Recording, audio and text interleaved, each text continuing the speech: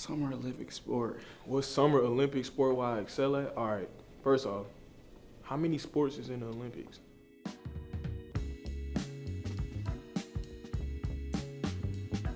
I think I would definitely excel at archery, swimming, surfing, football, I would hope. I actually did. I played rugby in high school, so I definitely get down with you know some rugby sevens. Badminton, I'll probably go crazy in badminton. Swimming is, I'm assuming, is one of them. You know, I could show my stuff if I was in, you know, a swimming competition. I think handball. I always saw it and I'm like, that just looks way too easy. So I believe a summer Olympic sport that I would be good at is uh, basketball. You know, I'll, I'll be hooping with uh, LeBron and Kyrie and everybody. Just let me shoot. You drive and kick it out to me. We gonna be good. I know everybody probably say that, but I really hoop. Definitely basketball. I mean, I'm like six seven, six eight, somewhere between there. Oh, track. Yeah, most definitely track.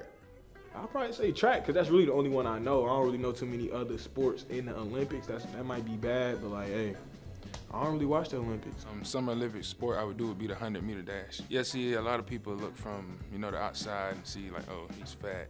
But once they uh, shoot the gun, I'm guaranteed to run under eight seconds.